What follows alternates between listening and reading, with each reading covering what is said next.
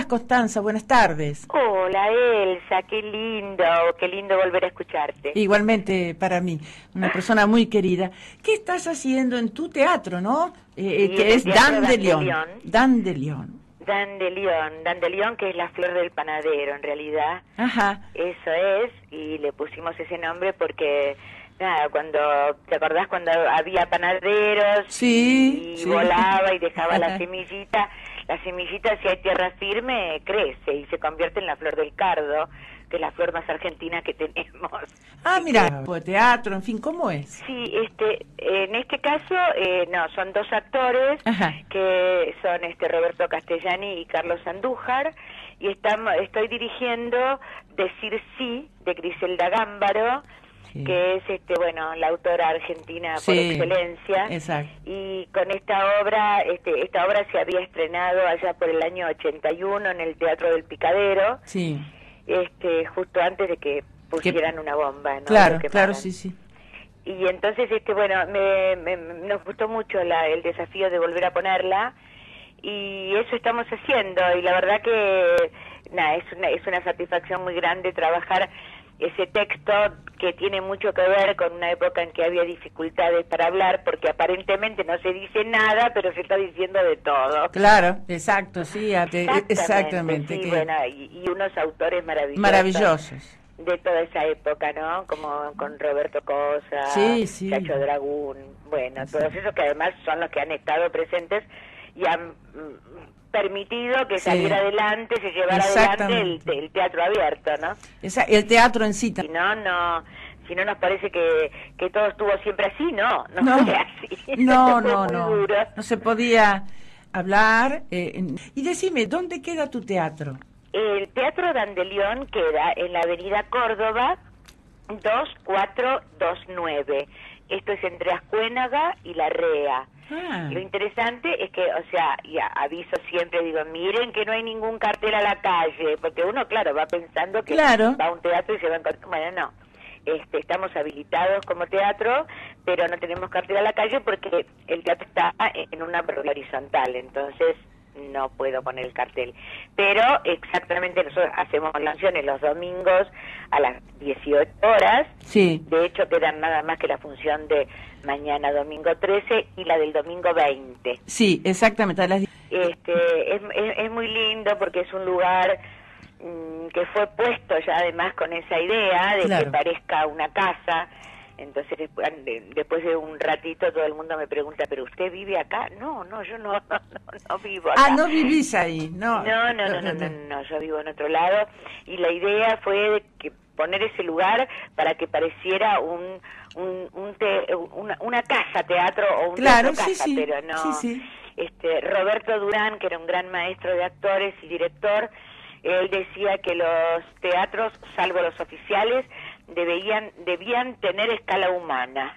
Ah, qué Y- linda Y, bueno, eso, eso se cumple sobradamente en Dandelion, donde después de la función siempre compartimos un vinito y, y la gente eh, charla entre sí, los que se conocen y los que no se conocen. Qué lindo. Este, sí, es muy éfono, que es el eh, 11, bueno, 5567 2429. Claro. El 2429 para mañana este hay disponibilidad.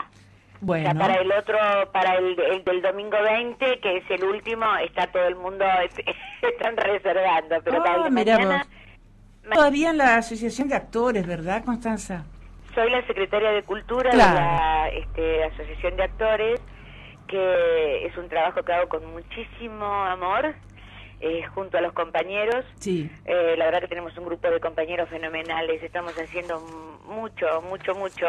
Ah, Yo sé que hay mucho que se ve, pero hay mucho de mucho más que se hace y no se ve o se ve Claro. poco. Claro. ¿Y cuál es la actividad eh, cultural en sí de- de- de- que tenés Mirá, a tu eh, cargo? que, eh, está muy bueno que, que lo podamos compartir con tu audiencia, porque la Asociación de Actores mm, tiene una serie de cursos a los que pueden asistir eh, no solamente los afiliados, Ah. sino quienes no lo son. Quienes no lo son pagarán un poquitito más, Claro. pero de todos modos tenemos cursos a, a- a precios muy accesibles.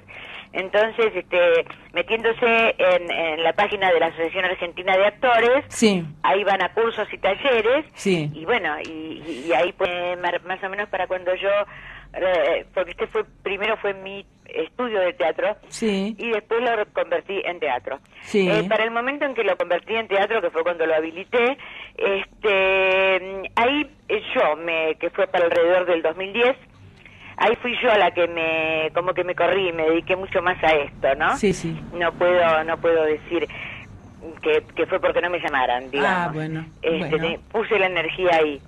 Pero este, ahora este año sí este, hice una participación en una película que todavía no se estrenó, que se llama La lata de bizcochos, que la dirige Daniel Alvaredo, Ajá. que a lo mejor sabes cómo es el cine, después se llamará cual- de cualquier otra manera, pero bueno, en principio Sí, se en llama principio así. se llama así. No, todavía no está eh, prevista. No, no, todavía no, no, si recién la terminamos de Ah. filmar, así que esto quedará para el año que viene seguro. Claro. Este, eh, y bueno, en televisión, de pronto si me llaman y me gusta, este, encantada.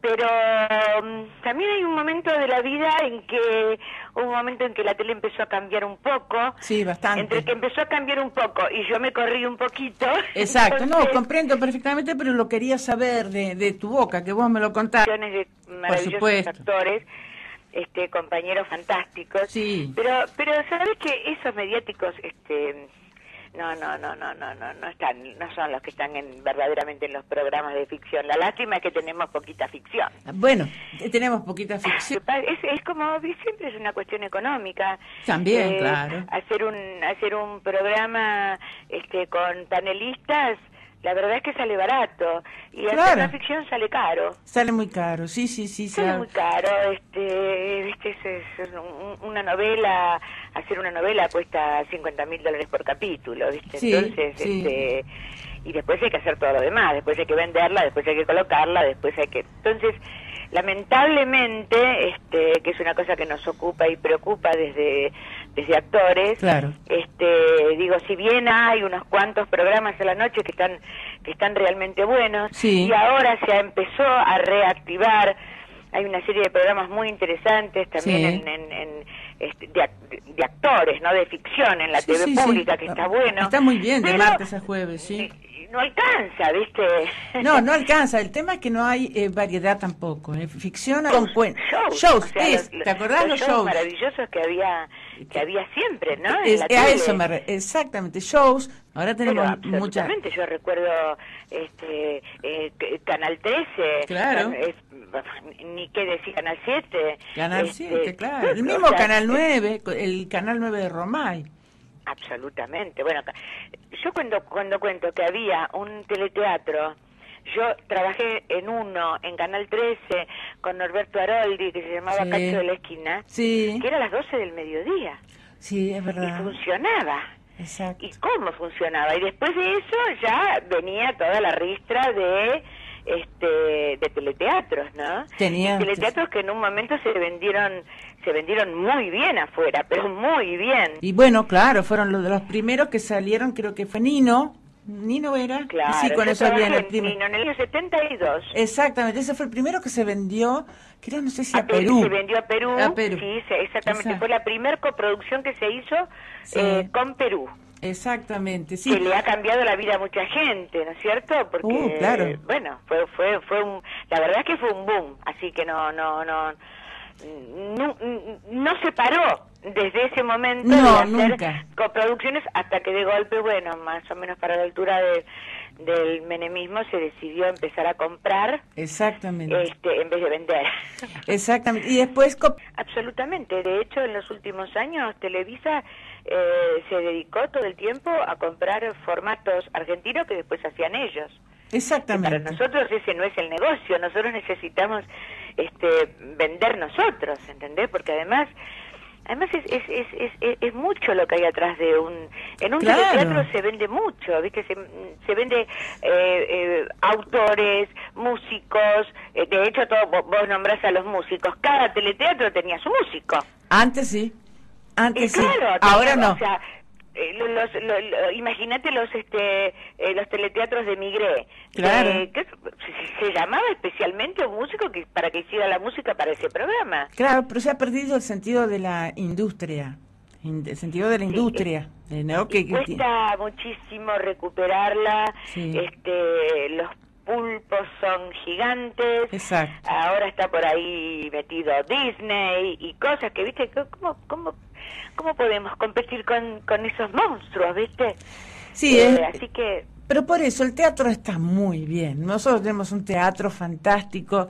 Te voy a ir a visitar en, eh, este, ahí en la, en la en sala. el Teatro Dandelion. Sí, Dandelion, que lo quiero Estamos en conocer. Facebook. Este, este, el teatro ha logrado que yo, por ejemplo, esté en Facebook, que nunca nadie lo había logrado hasta el momento. Ah, bueno, te vamos a buscar entonces. Bueno, me pueden buscar, sí, pues Sí. estoy por Constanza Amaral, actriz, y también estoy por Teatro Dandelion. No